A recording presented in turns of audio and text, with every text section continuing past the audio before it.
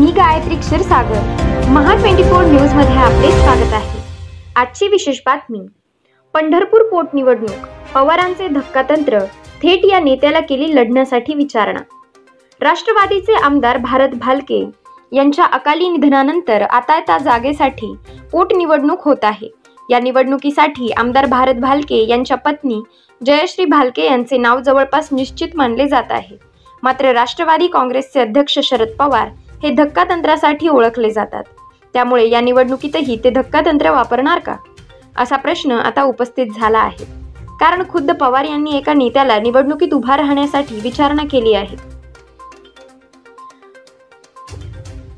वरच्या पक्षांकडून उमेदवाराबाबत अनेक नावे चर्चेत येत असतानाच त्यामध्ये डी व्ही पी उद्योग समूहाचे अध्यक्ष अभिजित पाटील यांचे देखील नाव या चर्चेत आले.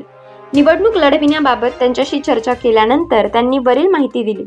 अभिजित पाटील म्हणाले की राष्ट्रवादी काँग्रेसचे अध्यक्ष शरद पवार यांच्याशी साखर कारखानदारीतील अडचणी संदर्भात भेट घेतली. त्यावेळी त्यांनी या निवडणुकीसाठी उभारणार काय? अशी माना मला विचारणा केली. त्यावर आपण होकार दिला आहे परंतु त्यासाठी त्यांनी पक्षाकडून सर्वच इच्छुकांकडून याबाबत सर्वेक्षण केले जाणार आहे.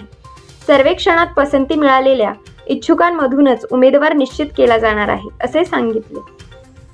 अशाच घडामोडीचा आढावा घेण्यासाठी आजच आमचं यूट्यूब चॅनल सबस्क्राईब करा व पाहत राहा Maha twenty four news Ahmednagar.